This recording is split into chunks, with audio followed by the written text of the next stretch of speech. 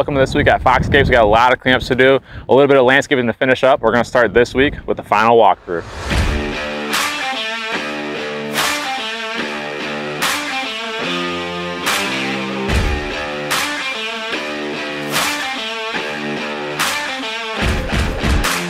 right here in this backyard, this is one of the coolest parts of this landscape is this waterfall. It's a pondless waterfall, so there's a catch basin down the middle, but there'll never be a pond to the naked eye. It's got two streams coming down either side and some plants right there in the middle. On either side of the waterfall, you got these steps that kind of encapsulate it. So you can walk up and just look at the stream as you're walking up. And then again, as you're walking down this side, you just got a stream right along the side of you. It's a really cool design on this water feature with a couple plants there in the middle too to really set it off. When I first came here early summer, this was a blank slate. It was a new build with no landscaping. And the primary objective was they had a large hill, kind of slopes down like six foot right here. So we wanted to figure out how we're gonna make these two spaces flow together between the house and the barn. One of the things when you have a hill, one of the obvious things to do is a retaining wall, but how are you gonna do it? And this is how we did it right here. As you can see, we got a couple staircases going up, a waterfall. We got setbacks on these walls over here. Beautiful placement of rocks, by the way. They're all fit together really tight. You can see the setbacks, double stack, a plant, double stack a plant. It just provides a little bit more interest to the landscape instead of just one sheer straight wall. Throw some curves in there, have some setbacks, make it gradual, make it easy on the eye. So we built these walls out of natural stone. It's an irregular product. It's not the, the easiest to work with. You have to pick one, kind of shape it, throw, pick up, pick through a few different rocks till you find one that fits really good. This piece in particular looks really nice on the corner. It's almost got a 90 degree angle sedimentary. You can see the different layers that settle over time. You got tans and beiges in this rock. This one's just a really nice rock here. But as you continue through the landscape in any, any section, you can just see how the rocks were selected very well and fit together very well. Flow of traffic is really important in design. And down there, we already covered that. We got stairs coming up here to attach to the basement, the back deck, anything going on in the backyard. We got the stairs coming up, but now up here, we got to figure out how we're going to get from there to the, to the barn, to the garage, and we did so with a flagstone path that kind of has an intersection right here to where you can go ahead, go in the barn and hang out, or go ahead, go back into the house with Ohio blue flagstone. We got a few select plants in this landscape, and now while they're dormant, you can't really tell how beautiful they are, but this is a forest pansy redbud. The leaves stay red all year. It flowers pink in the spring. It's large. It was I actually spaded in from our tree farm, Fox Tree Farm. Uh, so they brought this here, put it in this landscape, fits this space really good. We got a couple more red buds in this landscape, kind of a triangle of red buds. This one is a heartbreaker weeping red bud, so it has a weeping formation as it grows. Really not gonna get much taller. I'm really happy with the structure of that tree. And then we've also got a flamethrower red bud. So this is actually a, a traditional red bud in size. It's gonna get as big as the forest pansy, but it's got a little bit different interest to where in the fall time, these leaves are gonna be red, orange, yellow, and green all at once. Why they get the name the flamethrower, because it looks like it's got a fire in the tree. And this is yet another interesting plant in this landscape is a coral bark Japanese maple. The cool part about this is that its bark is actually red in the wintertime. So not a whole lot of plants got red bark as the snow is flying. This whole landscape's just got a natural feel to it with curves in the walls, curves on the bed, natural stone selected, Michigan boulders left and right just to kind of tie it all in with the landscape.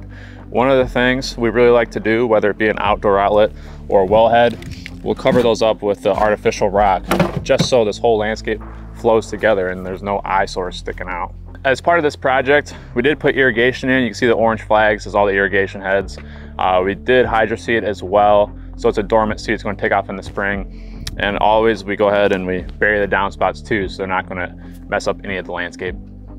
Going with the same idea, same concept on this whole project, this front yard's got this massive natural stone wall and it matches the stone veneer on the house so nice as you're just pulling in through the front, into the driveway, looking at the front of the house. This thing is really boastful. It makes the house look bigger. It's an extension of the home. This wall is beautifully crafted, really flat, steps down over there and curves out. Similar to the coral bark Japanese maple in the backyard, we do have these dogwoods, Bailey red twig dogwoods, where they got the red bark on them in the wintertime as well.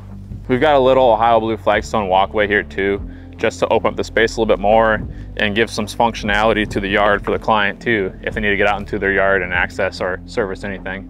Plant selection up here consists of Weigela, Spirea, a small Japanese maple, some phlox. You got a lot of hydrangeas and some evergreens and the Mr. Bowling Ball arborvitaes. There's really a full season of interest here, spring, summer, and fall. A lot of blooms and the plant quantity is a little bit on the higher end. On a scale of one to 10, you're probably stuffing it with a six or a seven. So it's gonna be really full, provide a lot of color for the front of the house. It was a pleasure taking you along on this final walkthrough, showing you this landscape, these natural stone walls. Hope you got some good ideas for your yard. Look forward to showing you guys some more of our projects.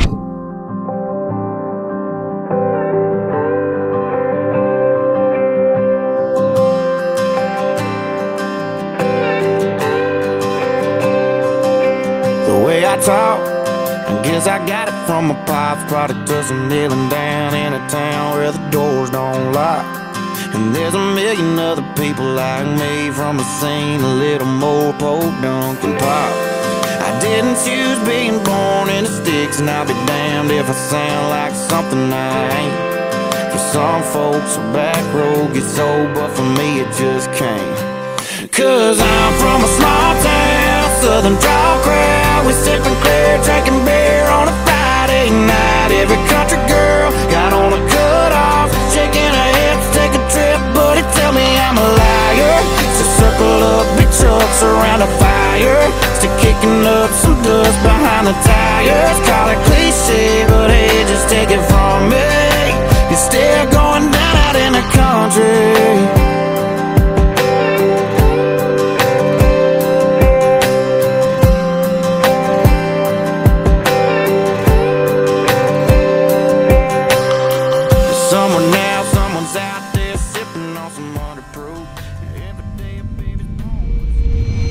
This rock right here, we went out late last week and hand-picked it from one of our stone suppliers. We're gonna core drill through it, a 24 inch core all the way through. We've done this once before. And it's gonna be a, a gas fire feature. So it's gonna be a gas insert, a key to turn the flames on. And we like this rock. It's like pretty dimensional. It was really what we were looking for. When we do the core, we wanna make sure we have at least six inches on either side of the core. So as we were going through and picking one out, we, uh, we looked at a lot and this one was speaking to Nate. Nate picked it. It's a nice rock. I will swing my axe.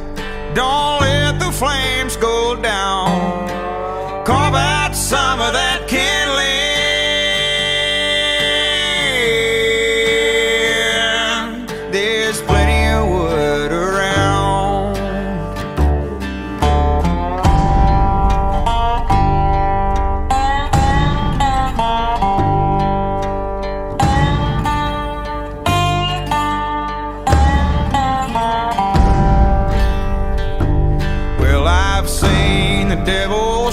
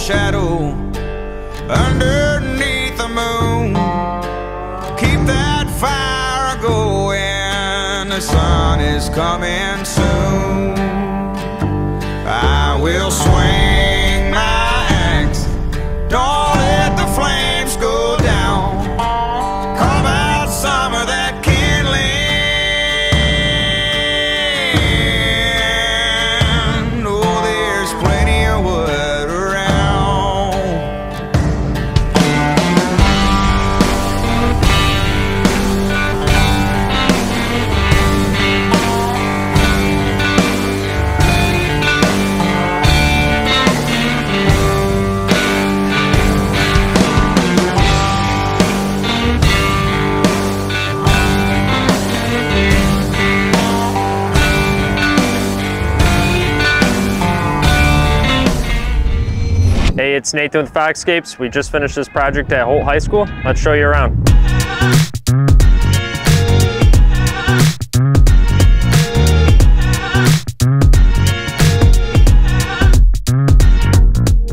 Our project starts here at the deck. They had this installed about a year ago as a teaching platform for the teachers to present to the kids on the hillside. Phase two of the project started on this hillside here. With the slope going down to the pond uh, behind us, we needed to have somewhere for the kids to sit down and be able to have their notepads and study as the teacher is presenting. So we came up with this uh, outcropping stone through this hillside. We have four tiers. This is a Canadian limestone. It is 13 inches thick. It's a great place for the kids to sit down, listen to the teacher, and be able to take notes. We chose the Canadian outcropping because it's a beautiful 13 inch stone. It's irregular, it has a nice color, and it's very natural. It fits the landscape as well as the school and providing something that is useful but also beautiful. Each one of these stones are placed are 13 inches thick. They're roughly two foot deep as well as four to eight foot long. It provides a great seat for the kids and it's something that they can enjoy as they study and listen to their teacher. There's roughly a four foot aisle down the middle that goes to the teaching platform.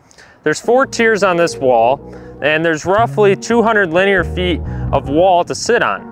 That equates to roughly 60 to 80 spots for students to sit down, have their notepad, and listen to their teacher. All right, we finished this video walkthrough at Holt High School. We'll see you back at the shop, and then on to moving plants.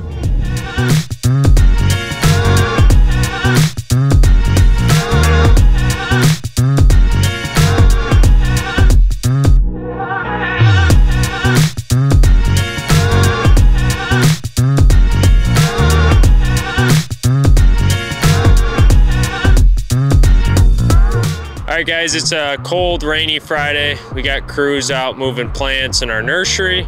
We're kind of get things organized before the winter comes. So we're gonna wrap this up. We'll see you guys on Monday. It looks like we got good weather Monday, and then we have Thanksgiving. So we'll see you guys soon.